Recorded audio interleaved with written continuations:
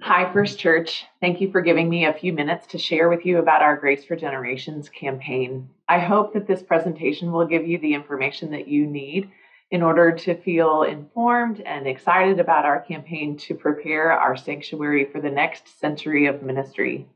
I also hope to hear from you with any questions that you may have so that we can improve our communication with the congregation in the days ahead. As you know, we are at a critical moment in our ministry. For 183 years, First Church has served as a spiritual anchor for the city that has grown up around it. And for a hundred of those years, people have found a spiritual home at the intersection of 12th Street and Lavaca Street, from governors to and senators to the neighbors who sometimes make their bed on our doorstep. Our physical presence here is a witness to God's presence in downtown Austin. We embody the truth that God makes God's home right in the middle of our lives, right alongside the halls of power and among those whose home is on the street. This is a church where generations of people have come to find God's grace present and active and alive. Even now, as we continue to make our way out of a pandemic and through denominational turmoil, we have clarity about our identity and our mission that draws more and more people to get swept up in the movement of God's grace that is happening at First Church. This place truly is special. And while we as a church are not the sum of our buildings, still our facilities are an essential tool for the ministry that we do.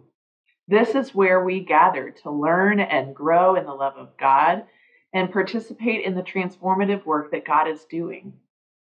Our building needs help, it needs restoration.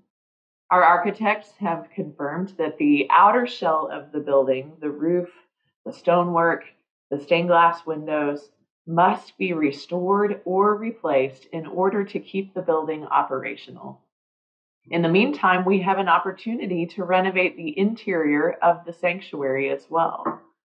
Over the 95 years that we have worshiped in that room, our congregation has managed to update and renovate the sanctuary periodically to better meet the needs of our worshiping community without completely altering the character of the space. It's time to do that again. We don't want a whole new sanctuary. We simply want our sanctuary to facilitate rather than impede our worship. We want to make updates to the chancel area that would allow more space and flexibility for worship leaders and make that area physically accessible to those who simply cannot climb a really awkward set of stairs. We desperately need to update the technology so that sound and lighting and media and hearing accessibility are all enhancing the worship experience rather than limiting what we can do or distracting us from the movement of the Holy Spirit. Now, the sanctuary building is not the only part of our campus with work to do. And the truth is, this is probably step one of what will be a two or three step effort to bring our whole campus into a new century of ministry. But we have to focus here first and strengthen our deepest roots in that sanctuary building. This is the purpose of the capital campaign this spring called Grace for Generations. We look back with gratitude at the generations before us, a hundred years ago, and recognize what a leap of faith they took in relocating next to the state capitol and building a facility that would stand as a landmark location and witness to God's grace. And we look forward to the generations yet to come, our grandchildren and great grandchildren. And with hope and anticipation, we prepare a place for them as an act of love and a sign of God's grace. This campaign depends on every household in this church taking seriously the call to reflect on God's blessings in our lives and prayerfully considering how we might invest in the future of our ministry. Every commitment, regardless of size, is essential for our success, and we will give thanks for each and every one.